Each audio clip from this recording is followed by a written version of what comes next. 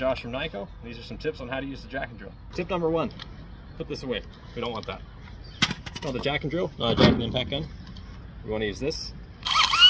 Okay, so reason number one, we're going to use the drill, not the impact gun.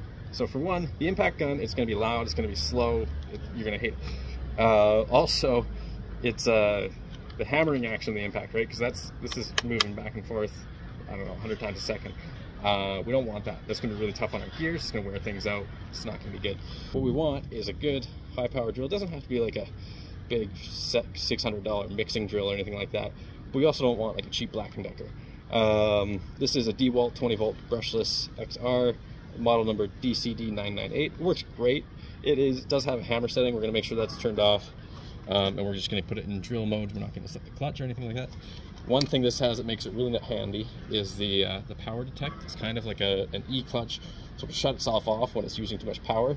So uh, it won't burn out as easily because you'll know if you're, you're drawing too much power, if your trailer's too heavy, you just can't handle it, it's going to cut out. And then you know, I got to do something else. Which brings me to the next tip. What do I do if my trailer's too heavy for that my drill, or my battery's dead, or I forgot my drill altogether? Jack and drill's on there.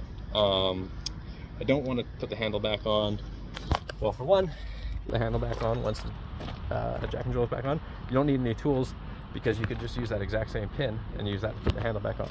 However, what I like to do is I keep one of these. This is a, a breaker bar or cheater bar, whatever you like to call them.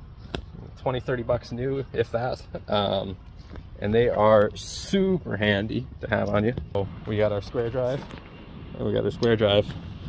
I think you know how that's gonna go and uh, yeah that works. Excellent. And I actually prefer this to the handle that comes with it. It's uh it doesn't stick out as far. You get more leverage with the handle. It's great. Next tip is use these guys. Make sure that you're greasing your jack. You do that whether you're using the jack or drill or not but uh, also keep in mind that you are spinning things a lot faster. Um, so you really want to make sure that you're keeping everything well maintained and greased. Um, so that you uh, get a long life out of your parts. So I want to talk a little bit about the design of the jack and drill a little bit, specifically this end of it. Um, so you may be wondering, well, why do we use the half inch square drive if I'm not supposed to use my impact gun on it? My impact gun has a half inch square drive. Well, the reason is we wanted to, to use, you know, anyone has or can buy cheap uh, a square drive adapter for their drill. Um, and it's not something proprietary that if you lose it, you need to buy a NighCo brand one. You can just, you know, you can get them anywhere, in, no matter where you live.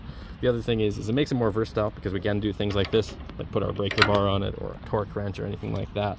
So when we're in situations where we don't have our drill on us, um, got that.